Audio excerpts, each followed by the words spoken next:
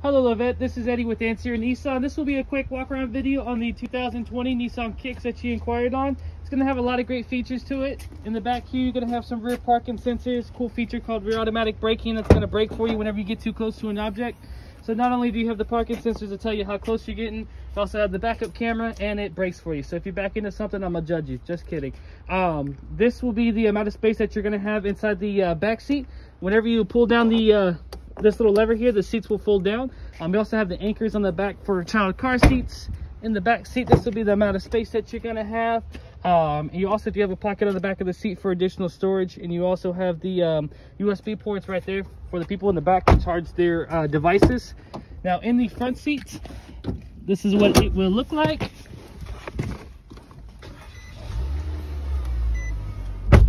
So, You'll have this little center screen right here that's going to show you how your vehicle's performing, like your average miles to the gallon. It also tell you your average speed, uh, how many miles are left to the tank, and of course the odometer is going to be in the bottom right-hand corner, so only got four miles on it. You also do have your blind spot warnings, which are going to be inside the car right here, um, and you're also going to have automatic emergency braking with pedestrian detection. So in the event your vehicle sees a potential accident, it's going to brake for you to minimize or completely avoid the accident. So as you can tell, it comes with a lot of great features. It also does come with uh, lane departure warning, so your steering wheel will vibrate once you start to get outside your lane. This is going to be your backup camera.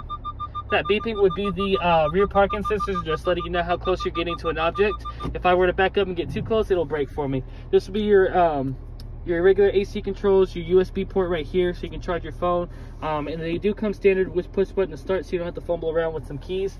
A couple other features I definitely like to go over in person, but hopefully you got a good look at the vehicle um, that you inquired on and I'm looking forward to working with you soon. Thank you.